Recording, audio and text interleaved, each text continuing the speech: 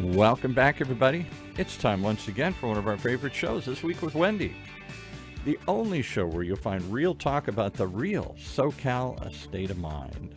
With your host, Wendy Ross, who, after well, a bunch of time working at real estate brokerages in Silicon Valley and Orange County, she decided it was time to do something different. And so she did. She created Veracity Real Estate, a company that was designed to provide bespoke client advocacy at all price levels, something you just don't see in high cost luxury markets like Southern California.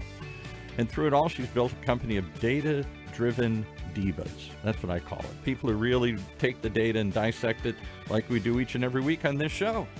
So let's start digging in with Wendy. Hey, Wendy. Hey, good morning, Paul. How are you? I'm good. I'm good. Um, lot of data these days is confusing me. I know. I know. It, I, I don't know what to make of it. Well, I'm gonna. I'm just gonna tease you a little bit. This week, since it's my guest is far more important than I am this week. Mm-hmm. Let's just be honest about it, okay?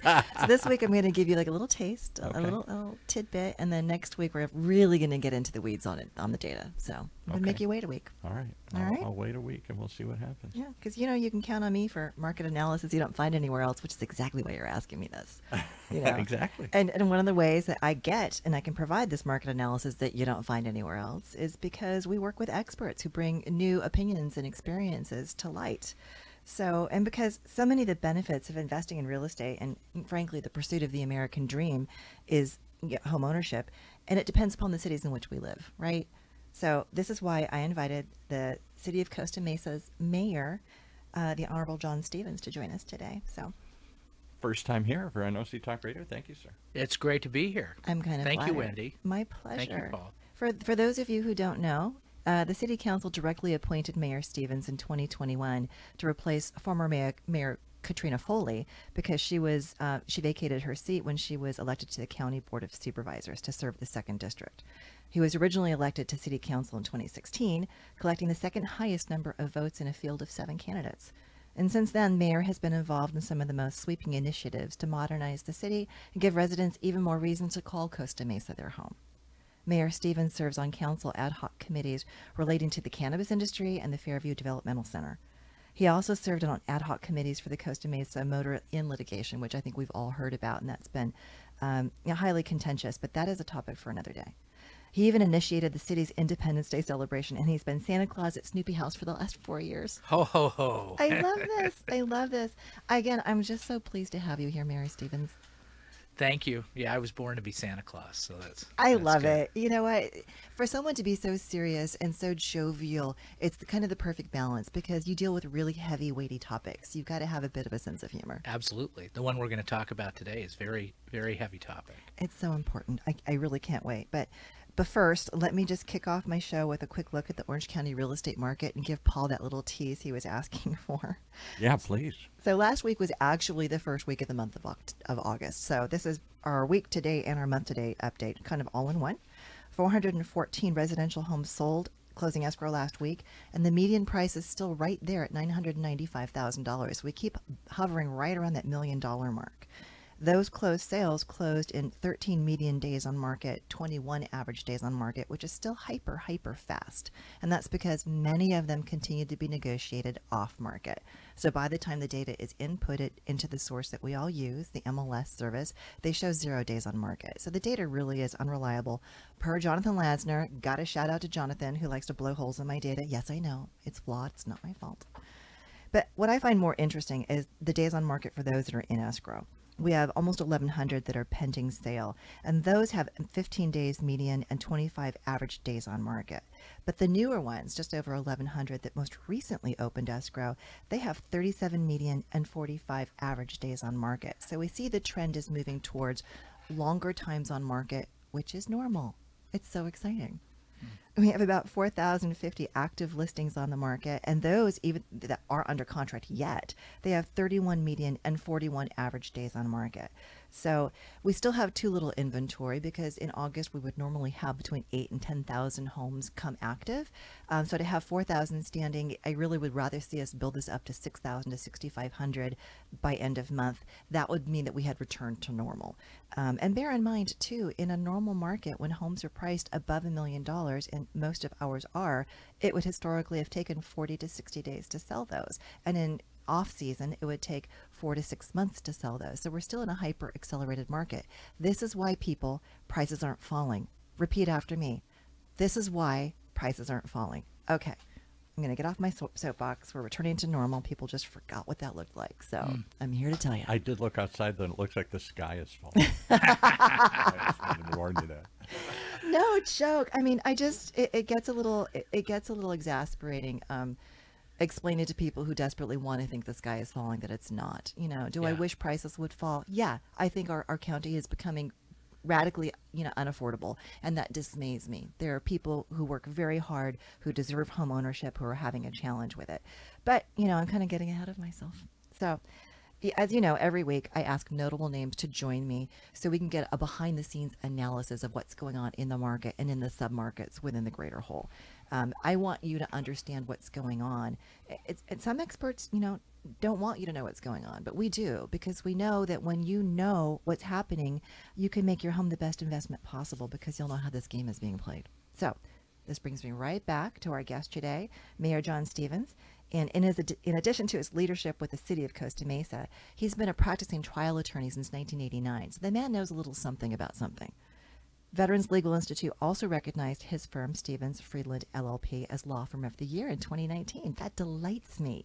And that's something we were very, very proud and honored to have that. You know, I, I keep forgetting how many ways our paths cross, and I think that just means that we're just we're meant to be um, affiliated. We're meant to be connected. Yeah, here we are. I know here, and I'm just I'm so thrilled, and you know, I, I'm sure you know, as my listeners know, um, or may not know, I don't know. I'm also a ad- advocate at Veterans Legal Institute, and I think I'm their newest board member. Oh wow, congratulations. Thank you. It's a great organization. they do so much good Yeah. so much good and and the work that they do touches on um, our enlisted personnel and of course the veterans previously enlisted and helping to make sure that they are housed and that they get health care and that they get education that they get jobs and all of this fits squarely into the conversation that we have with you um, so what I would like to ask you first and foremost is how do you think all of those years of being a business person and an attorney locally have informed your ability to serve the city?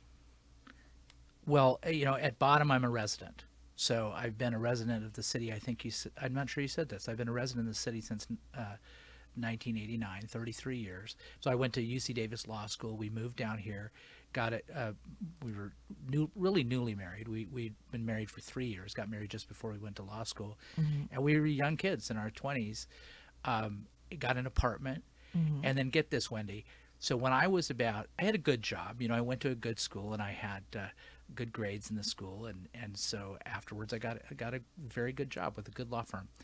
And when I was 28 years old, I bought my first house That's really impressive. for two hundred and sixty-one thousand dollars. That you remember the number is phenomenal. Yeah, I love beautiful that. three beautiful three bedroom house, Mm-hmm. and then we started to have children. We had uh, spent most of the '90s having children, and we have four now. And uh, incredible. and so we sold that house after our third child. We just ran out of room. Mm-hmm. I was going to say you needed rooms. Needed a five bedroom, so we move across the town to Mesa Verde and buy a five bedroom house, and then uh, lo and behold, we had a fourth child. So that house we purchased for uh, three hundred and sixty-seven thousand dollars in two thousand. So the world has changed, and you talk about the, the home ownership and having a young family break mm-hmm. into home ownership. It's, it's so difficult in this day and age.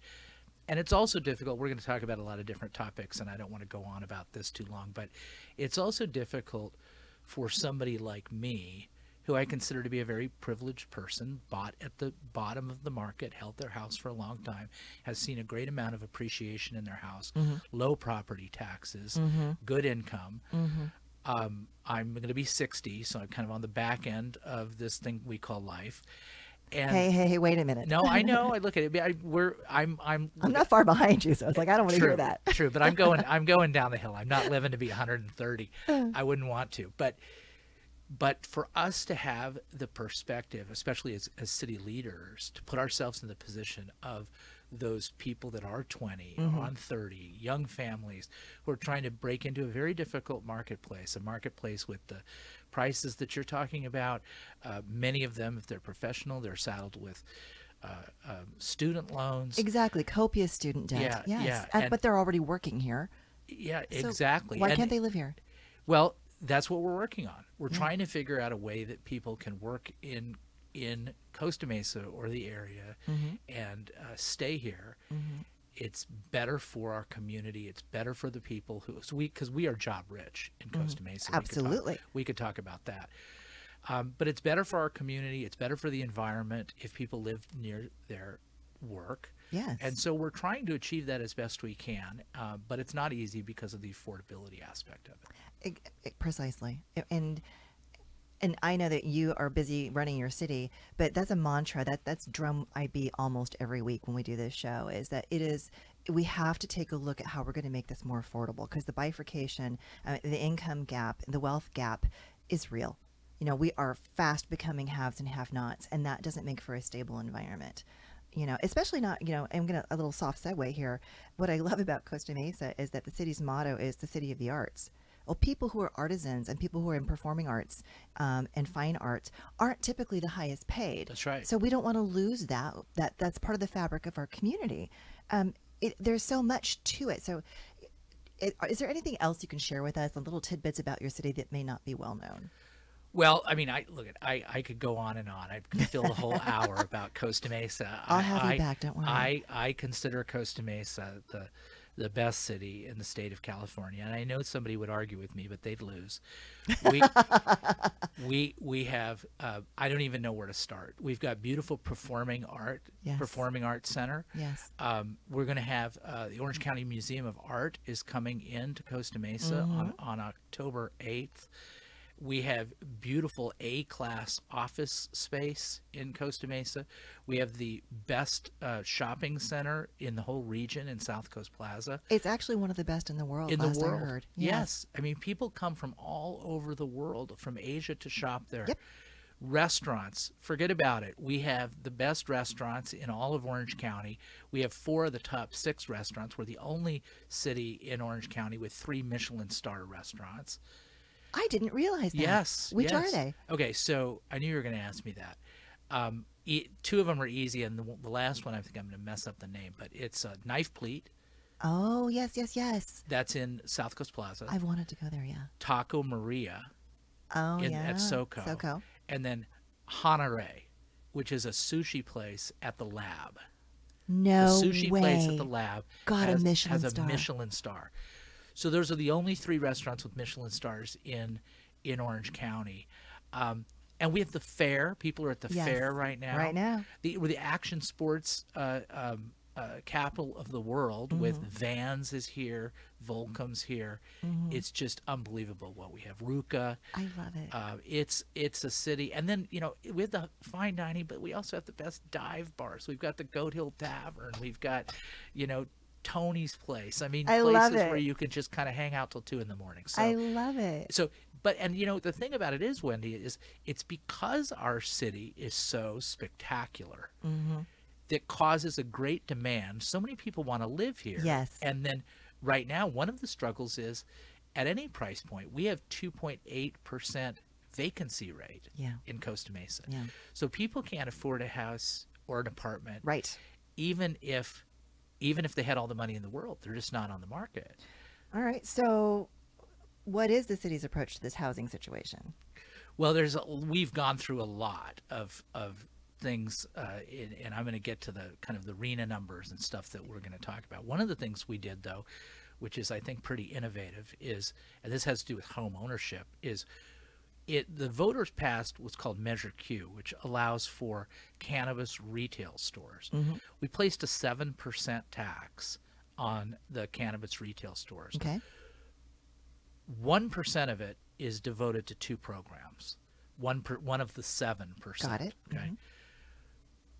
A first-time home buyers program, which we'll talk about in a 2nd and then you know it's interesting when you were talking about artisans and stuff. I didn't even think about how this other half is going to also help housing. It's public art. There you go. Okay. Yeah. So one half of that is going to go to public art. We're the city of the arts, but ironically and and kind of disappointingly, Mm-hmm. we spend less of our public funds on art than almost any other city. That is kind of an And so interesting dichotomy, isn't it it? isn't it strange? Yeah. So when we when we actually drilled down and we did our arts master plan and we found that out, we had figured we had to do something about it. So we have this new source of revenue coming in, Mm-hmm. and and so the the idea with the first time homebuyers program is, and we we're just going to get the funding. We have don't have a program, but I have a vision for the program. Okay. The vision would be, let's say um, somebody needs just a boost to get into a house. They just need a little extra to get them over the hump Mm-hmm. Perhaps on a down are- on a yeah. down payment, closing costs, whatever the case Mm-hmm. may be. They apply. They got to be Costa Mesa residents or grew up in Costa Mesa, and um, they and the first time home buyer, and so we interest free. We grant them that money, put a deed of trust, the back end of their house, all subordinate to whoever else they want. Got it. When they sell the house, they return the money, no interest. It goes and it goes to somebody else. That's incredible. So- see, and these are things that I talk to home buyers, would be home buyers about all the time. That you really have to dial into the city because different municipalities have different, you know, opinions and uh, relationships to first-time home buyers, and some of them, like yours, are a bit more forward-thinking. And that's probably a city where you want to live. Well, yeah. I mean, we- Frankly. we, we're trying. Yeah, We're trying. I mean, it's difficult. small I mean, steps. you know, and, and and of course the big you as part of housing, Mm-hmm. a big thing you can't uh, you you can't ignore homelessness. correct. So we in 2019 established a bridge shelter. Uh, uh, it was first a temporary and then uh, later a permanent shelter. And out of that shelter since 2019, we've housed found permanent housing for 225 people. That's pretty incredible. Now, when you just think about it, I mean, just think about that. If there were 225 people here, you'd know it. It would be a big group. it would be a big group. And those are people that were on our streets Mm-hmm. who are now in permanent shelter. And something that I think our citizenry misses is that when you take someone who is on the streets and you put them into a temporary housing situation and you allow them a little bit of dignity, they are better able to pull their lives together and get into a permanent housing situation. And taking them off the streets and getting them into permanent housing and getting them into the workforce and getting them to contribute to the community benefits all of us. Absolutely. And and you know the in, in our in our shelter too. The reason why we had such great success is when somebody comes into the shelter, they immediately start working on their housing plan. Marvelous. And the whole idea is when you come in there, the whole idea is for you to matriculate out mm-hmm. to permanent housing. And sometimes it's more difficult than others. But you know, whatever people talk, and I, and I do agree that drugs are a problem, mental illness are a Of problem, or course. whatever. Of course. But whatever you're struggling with, and we all struggle with something, okay? It's better to be struggling it in some place that's warm and dry. Right. Where you're not at, you know, at risk of the elements or being, you know, harassed by the police or just, uh, you know, angry citizens or, or, or. And, Right. and sadly, a large number of these people are veterans. You can contact Veterans Legal Institute for help. We will help you with housing. We will help you with mental health professionals. We will help you. You know, we, we want to help, so we just we can't scream this loudly enough. Um, and I want to I want to circle back for a moment because you said something about RHNA. Um, so I want to just share with the listeners what that is. So back in 1969, uh, California mandated that all cities, towns, and counties must plan for the housing needs of our residents, all of them, regardless of their income. So this state mandate is called the Housing Element and Regional Housing Needs Allocation, or RHNA. So it's updated in eight-year cycles, um, and it's so that they can keep step with you know the immediate near-term needs of the residents. So this means that every city, including Costa Mesa, is required by law to update its housing needs um, every eight years. So, can you tell us where you are with this process now? Sure, yeah. So the housing element is part of our general plan. Right. And and as you said, it's updated every eight years. And what has what has happened in our case is, uh, in all cities, there's um, there's a housing crisis in Costa Mesa. It's recognized pretty much throughout the state. Mm-hmm. It is. And uh, I don't think there's a lot of debate that there's a housing crisis. It's not like you know climate deniers or whatever. It's it's there's not a lot of housing deniers. So um, what the state of California did is allocate a number of units that need to be built over that eight-year RHNA cycle f- to different regions.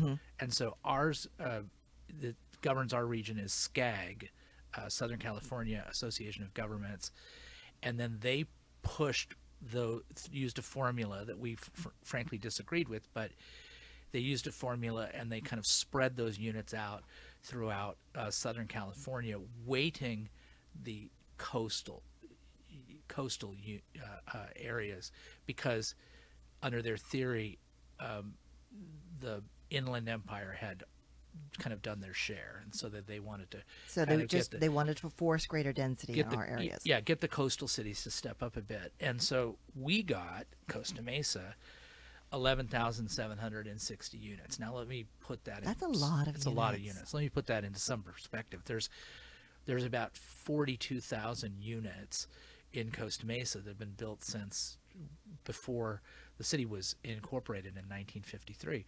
So in all that time, so so the the idea, just the mere idea, and many of those, um, I don't have the exact numbers, but many of them are uh, moderate, low, and very low units of the of the 11,760.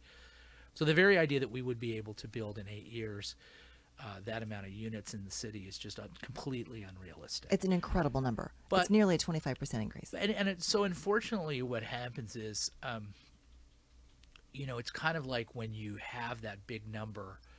Um, you know, like sometimes I feel like my clients do this. They they, they owe me a lot of money, so they don't pay me anything. You know what I mean? Right. And uh, sorry, clients, uh, but uh, didn't mean to throw you under the bus there. But I guess you don't you deserve it if you're Just not paying me but you know you you have the this big number and so people are like oh i don't want that big number so i don't want to do anything you know Mm-hmm. That's Well, kind of human nature. You're right. that's not an option so it, rather than doing what i think always works in government is incremental incrementally addressing a problem whether it be crime homelessness whatever it is the social issue is to deal with it incrementally and then before you know it years and years and years and years later if you have steady uh, uh, commitment to addressing the issue it's going to shrink substantially right. You're going to make some serious headway over time. yeah, so there's a little bit of, of concern over that number, and but I just forget about the number. I say, okay, look at what is wh- what can we do, and what do we have to do? So we have to do this um, housing element. So we submitted it to the city, sorry, to the state, um, and to get certification. Um, in order to do that, we had lots of meetings. We had many Zoom meetings. This was back in the day of Zoom primarily. Um, we did surveys where we got almost 500 responses. We had meetings of the Planning Commission, all public, meetings of the Planning Commission, study sessions of the City Council, meetings of the City Council. I can't imagine how contentious all of this must have been. You know, it wasn't really that bad because, Really? well, because people, uh, people, I think were, um, the people at Costa Mesa are great. I mean, they, they, they understood that there was an issue and they're trying to be constructive. I would say, so there's a lot of constructive feedback, and and we kind of drew from that feedback to come up with our plan about what do we what do we want to see and where do we want to see it. So we have a great opportunity. One place is Fairview Developmental Center, which is state owned. It's right in the center of Costa Mesa. It's hundred and two acres, and um, that's a great opportunity for housing. We're uh, we just got uh, granted, I think it was $3.5 million for our city to kind of study that and work with the state on how that's going to be developed. So we're looking for 2,500 units to be at Fairview Developmental Is there Center. any resistance to, rezoning it for that purpose? No, no, no, no, Great. no, no, really not. I mean, the only thing I will say is that people in Costa Mesa look at Fairview Developmental Center and they they're it's like a blank easel, you know what I mm-hmm. mean? It's like mm-hmm. what could we do there? We're going to maintain a lot of open space. Mm-hmm. We're going to have a bit of a village there, you know, where and that that that only makes sense in It delivering does. all these units is that it's somewhat self-contained. So it's a Well, place where you can live, you can go to get a cup of coffee, you can go to the dry cleaner, you can buy your essentials, Have a little market there, right? get your hair done, whatever it is you need to do there. Because this blue doesn't just happen. Yes, yeah, yeah, yeah. So it looks great. Thank you. So, um, so anyway, Fairview Developmental Center is great, and then other than Fairview Developmental. I, I, by the way, I want a water park there. That's what I want, like water slides. Look at you. See that there's the kid in you coming out again. I why, love that. Why? Why does Irvine get Wild Rivers and Costa Mesa doesn't get anything? We need to have some type of, of water park in Costa Mesa. Well, Fairview Developmental. People, if you're listening, one of the ways you can be assured you'll get one step closer to a water park is to reelect this man. Just saying. All right, moving on. Yeah, Shameless plug. right, right, running on the water park platform.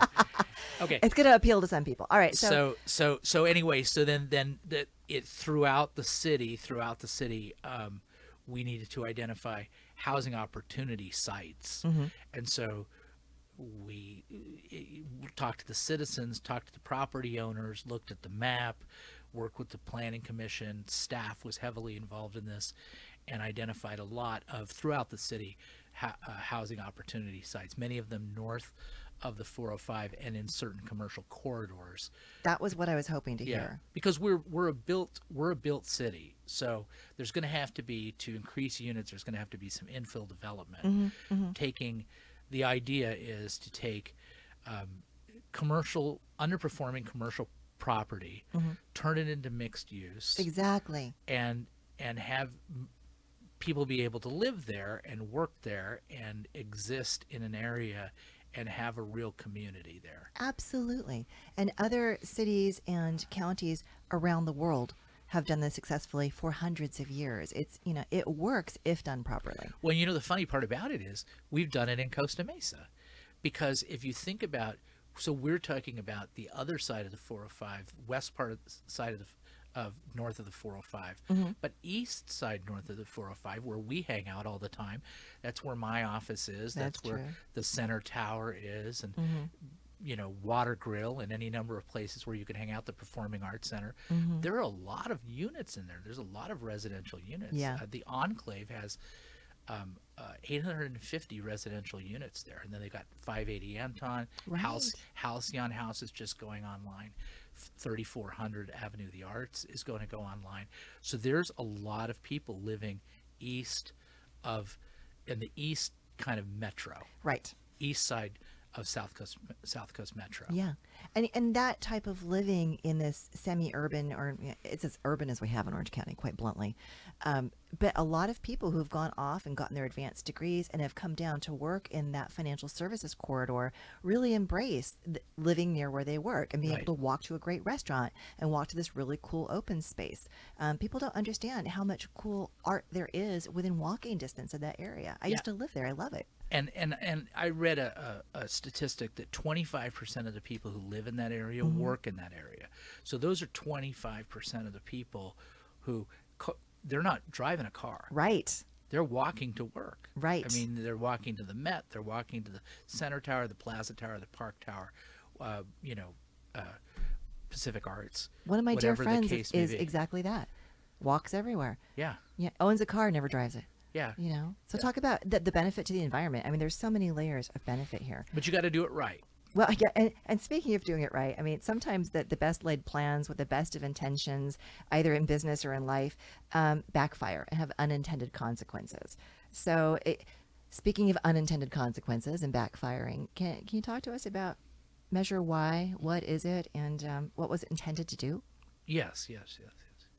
So Measure Y was uh, enacted in 2016. You mentioned that I was elected there, so I'm kind of fond of the voters of 2016. I, I think they got very They got good, most things right, they got very good and their intentions were good. they got very good judgment and their intentions were rather good. so we had a, a situation in Costa Mesa that kind of was brewing since about 2010 until 2016, and we had some political setbacks in 20, uh, uh, 2014 in terms of the candidate uh, that one of our candidates that lost by 47 votes.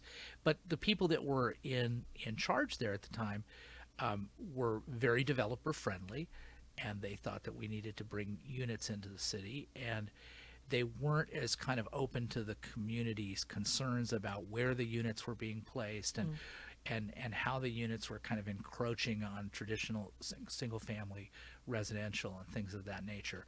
So there was a group of citizens who who put on the ballot Measure Y, and they did in you know you know in all good faith and goodwill, and uh, in, and in response to what they were seeing as overdevelopment and lack of thoughtful development. Okay. So the theory was we're going to put an item on the ballot. It's going to say if a project has certain characteristics, if it is, if there's a uh, an amendment to the general plan or the zoning or the or the overlays, plus some level of um, uh, of intensity of use. So, uh, 40 units or more, uh, uh, 200 car trips a day, things like that. You know, things that show intensity of use, and also it had a uh, reach re, it reached out to um, the units or the the test measure for intensity covered cumulative over a half a mile. So, uh, Okay. you know, so if somebody built theoretically something that was going to add 35 units, then you had six within a half a mile that you could do without triggering Measure Y. Okay. So what ended up happening though, um, and and the theory is we're going to empower the voters. Sure. Right. Which Right. which is is is in its sense it's good. You know, Right. it's like we we need to have more voter oversight over what the city council is doing. Mm-hmm, because it affects their lives. That makes complete sense. I, I'm not suggesting that you know the mo like I say the motives were clear, but the outcome of that is is that there have been no developments. See, and there here's have the been no unintended consequence. Yeah. Right. So There- it just it it stopped everything. Yeah, there there there are there have been no votes. There will be no votes ever. So the and the and the reason for that is um it's very very difficult for a developer uh, to say I'm going to put my capital at risk. Mm-hmm. I'm going to go all the way through the process of gaining site control, design, entitlement, which can take up to two years. Mm-hmm. All the studies they have to do, all the it's really EIR, expensive. everything. Yes. Go through the entire process, CEQA, everything, Yeah. And then say, voters, you want to vote for this? And Right. then people say, I don't like it. Right. Boom, you lose. Right. Now all of that capital is flushed down the toilet. Banning them. Ranch was a great example. Now, well, we talk about banning ranch. we we can have another discussion. We'll talk banning. another day. But but anyhow, um, so so what's happened is developers have just declined and to, we've to, noticed to, that, to, that- to participate. As a result, Wendy, so we go from this kind of rushing river of development down to like a stream A that's getting smaller and smaller. Mm-hmm. And so since 2019, in the last three years, we've only had 22 units that have been approved in Costa Mesa to be built. grief. Mm-hmm. 22 units, and in this year, in this year, 20 now there's not nothing going. In 22, Mm-hmm. zero. And, All we're right. in, and we're in August. So I understand that the city council is coming up with something to like ease this this logjam with, with the loggerhead. So, so what is this upcoming ballot measure, and what is it intended to do to help with this? Yeah, so in October of last year, we assigned a ad hoc committee of our city council, Jeff Harlan, Arlis Reynolds, and Andrea Marr, to come up with some solutions. Okay. And so they did a lot of outreach. We they did some further surveying. They had some public meetings, and finally, last week. So this is very um, topical. On uh, on the second of August, um, we voted to put an item on the ballot. The item would go on the ballot, and what it would say is basically, um, in Measure Y would not apply to developments in certain corridors Okay. north of the 405 down Bristol and, and they're all commercial corridors. Got it. So we're not looking to displace people from their residences. We're not looking to develop in the single family residential Yeah, we're not talking Mesa. Verde here, people. Right. We're Yeah. talking about the commercial corridors north of the 405 and an area so so it would be uh, Newport Boulevard, and you know Newport Boulevard has always been kind of a, a difficult place. I mean, it's it's underperforming. Uh, there's a lot of um, you know issues with homelessness and a lot of issues with crime, and, and it's just not a place as you drive down Newport Boulevard that you're particularly proud of. Right. And uh, to address those things, homelessness, crime, and stuff like that, I, I call it the three the three things that uh, that address those most are lighting, security, and activity Yes. lighting, security, activity. Um, when we built our library, as you may remember, that area was a homeless encamp- encampment, and people thought, "What are these guys doing? Why?" And people come up to us, "Why are you building a library where the homeless encampment is?" And I'm like, "Just watch." Trust me.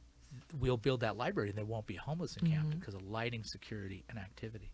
So in some of our areas that are that are f- kind of um, struggling because also of the shift in how people buy retail. You know, mm-hmm. they don't buy retail at a storefront, brick and mortar. They they mm-hmm. do it online. So some of these areas are struggling and they're looking for revitalization. And so in those areas, there could be revitalization. And what we're going to also do, if this passes, we'll do a complete revision, visioning, visioning mm-hmm. with the with the citizens, where we have public meetings and we have we hire a consultant and we'll say, what do you want these corridors to look like? Right. What do you want them to look like? Um, what is their what's their potential? You know, and kind of get out of our own heads and our own vision and bring it to the people and really hear from them. And so the idea is that we would be able to over time start to, as I said, incrementally deliver some more product to people to live in some type of a live work environment that would over time reduce the cost of housing by Okay. providing more supply. So I want to hear what the particulars are on the ballot measure that will get us from here to there. But we need to take a quick break and have Paul you know, do a little shout out to our sponsor. Okay. Let's do it because, uh, as we know, as you've proven here again today, you bring together a who's who list of uh, advisors and partners, and one of them is our longtime sponsor here, Ford and Diulio. Ford and Diulio is an Orange County-based boutique litigation firm with experienced attorneys from the big law firms. They did so when they created this thing to do something different, which is to find a way to align their interest with the client's interest. That means they're rewarded for being efficient and effective, not just for dragging out the litigation and running up the bills. And where they engage in the relentless pursuit of their clients' goals, whether in litigation, mediation, or at trial. That's something you're interested in learning more about? Simple place to find them, FordDiulio.com, F-O-R-D-D-I-U-L-I-O, FordDiulio.com. Okay. I got to say, just at the top of my uh, thought. I knew here, it was coming. Here I gotta say, any guy that not only shouts out the arts, but the coolness of the dive bars like the Goat Hill Tavern, New York. there's a guy who knows his community. I mean, there's That a is guy a man to Yeah. stay in office. That's Thank a you very man. much. forever. He likes the high, he likes the low. I Exactly. that. I, I do love Costa Mesa. Um, one of the things that I'd love to hear about, we had somebody on a show, uh, seems like a year ago or whenever it was passed, but didn't Costa Mesa do something revolutionary where they uh, passed an ordinance? I think you sort of alluded to this, where they're going to let cannabis retailers in regular shopping centers, not just stuck in some industrial park in the middle of nowhere. If that was, if that, if my understanding is correct, you know, where's that at these days, and how's that work? Yeah, great. Thanks, Paul. Great timely question. So, yes, we did. Uh, that was overwhelmingly passed to put cannabis retail in in commercial zones. Okay. So some of these same zones we're talking about uh, uh, that would be part of the the corridors, and so we have a lot of applications. We have I, some somebody told me 60 applications, but they're moving through the process slowly. It's, it's a, to you have to you have to really prove yourself to the staff and to the planning commission. So now we have 8 that have have uh, been approved and gotten uh, conditional use permits, and so then they're going to move forward and then do their building and do their tenant improvements. So it looks like this month, one August of 2022, at the latest next month, we should have the first open, and then once that opens, then we'll start to get the flow for that first-time homebuyers program. That is interesting timing. We just one of them was just denied last night though, Oh, wow. and it was um, it was in a place where um, it was incompatible to the to, to the residential neighbors. Uh, at least that was the finding of the of the of the planning commission, and uh, you know the the application applicants would be it, would be wise to do a lot of outreach right. to people that Right. are around there. It's very Right. very important. Yeah, if they're going to embed in the community, they need to make some friends. and people do you know people are concerned because it's a new use Sure, and so anything that's new then people um, you know are concerned and they need to somebody to to explain to them what to expect and Yeah. then once it's, my view is once we see the investment in our community, um, and uh, and the safety that we get and the revenue that we get, people are going to be really happy about it. All I can tell you is that I'm a huge fan of cannabinoids, and so is my dog. So, There you go. yeah. All right. So I'm I'm so sorry. This is more interesting, but I'm going to drag him right back to that whole response to Measure Y. Okay. So what's going on the ballot, and and what are, what are the hopes from that? Right. So what's going on in the ballot, kind of like I said, is is we would take Measure Y and essentially exempt certain parts of the city that are designated these corridors. So Okay. north of the 405 is one corridor, Harbor, Bristol, Newport Boulevard, um, the Trinity Broadcasting Network site, um, a few Baker, uh, a, a certain section of Baker, um, the SoBECA area, and so then at that point it would be like the way it used to be, where people could obtain site control, do their work, go to the city council, talk, do the outreach necessary to see if they have support for their projects, and then at, at and then also we would do this visioning process that I talked about. That's Right. right, in that's right in the ordinance. Um, and the, the the idea is that over t- over time, gradually, we're we're going to revitalize those corridors and find more places for people to live in environments where people want to live. Right. You know, that's the key. Is it's got to be where people want to live, and we have to be cognizant of the concern that there there could be impacts. You know, Well, sure, and and I- and I address and address those impacts as best we can. having community forums and asking them about it. So, am I correct in, in understanding what you're saying is that exempting those areas means that developers can go in, submit a plan, um, get conditional approval, spend thousands and thousands and thousands of dollars doing all of their studies and stuff, and not worry about the citizen really saying no. Right. If they're in one of these designated corridors. Correct. Okay. If they move outside one of the corridors, then Measure Y would still Okay. apply, and you'd still have to have a vote. Um, so you know, like like I said, I, I I really I don't think people should be caught up too much about.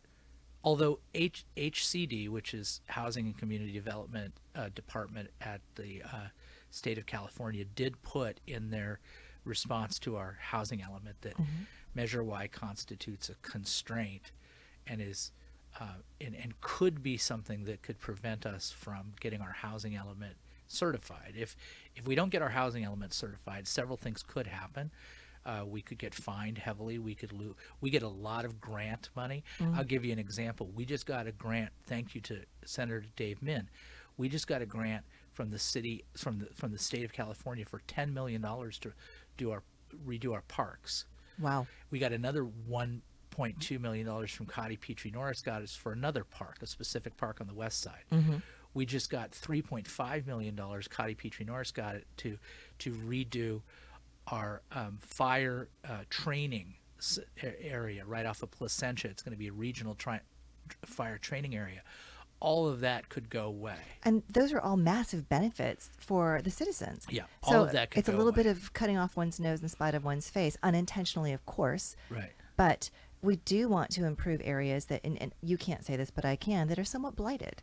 I mean, they're they're already underutilized, but they're somewhat blighted. I mean, There there are people hanging around there we don't want there, and if they were um, rehabilitated, then everyone wins. Right. Yeah. I mean, I can say it. I mean, look at we have a, a problem in particular in our city with calls for services to various motels. Right. I mean, we have some of the nicest motels, hotels in in in Orange County, but we also have kind of some ones that generate a lot of calls for service. And Right. we talked earlier about the Costa Mesa Motor Inn, which is being redeveloped now into a 200 unit uh, apartment complex with with nine affordable units in that. I was involved in that. That's tremendous. Settling that litigation. Yes. But the other thing we're doing that I haven't talked about, but it touches on veterans issues too, is we're we're working with all state and federal and county funds in Costa Mesa, and the soup. Sorry, the um, the Motel Six on Harbor mm-hmm.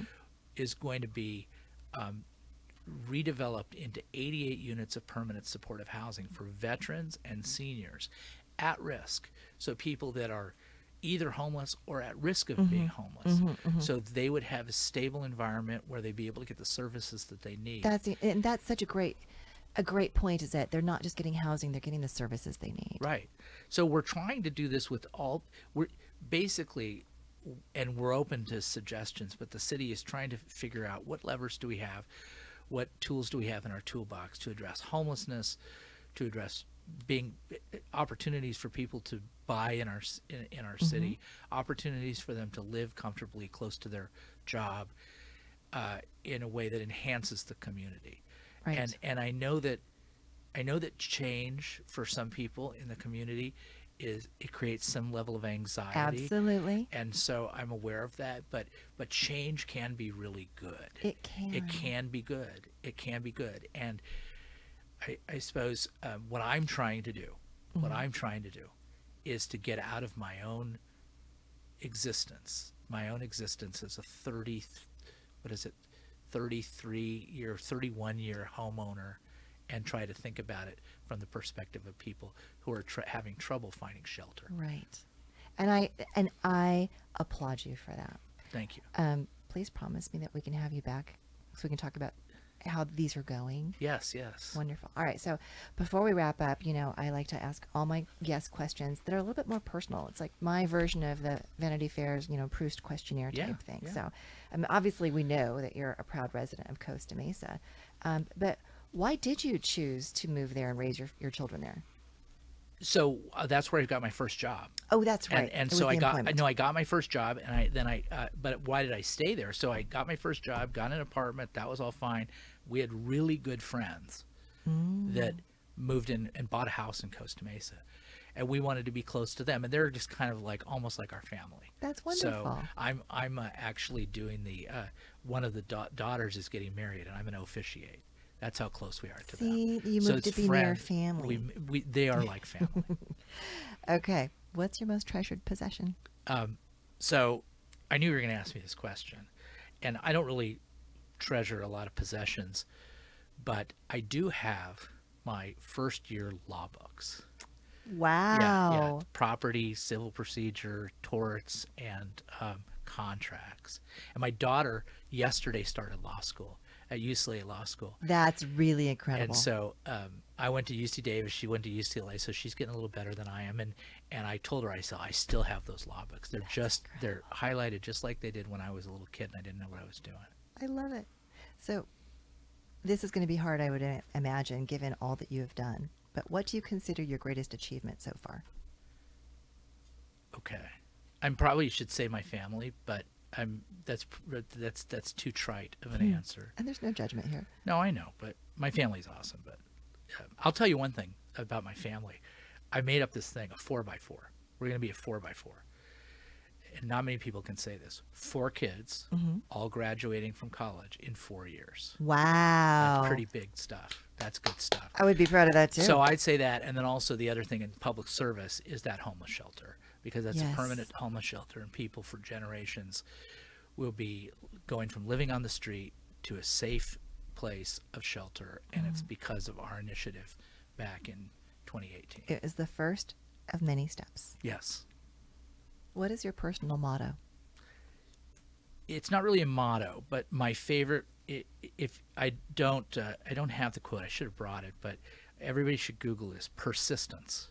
Okay, persistence. If K- uh, Calvin Coolidge said that persistence is the most important quality to have, and he's got this little motto. I know of it. You're absolutely right. and he and he has this quote about persistence and how it's not intelligence it's not hard work it's hard work and everything like that and i think that if you really want to ask somebody an interview question you say when when were you persistent That's a because nothing point. nothing gets done the first time you have to be told no a number of times and then you have to come back with different angles in in law in public service in dealing with your family and dealing with your friends or whatever In Per- life, man. persi- yes.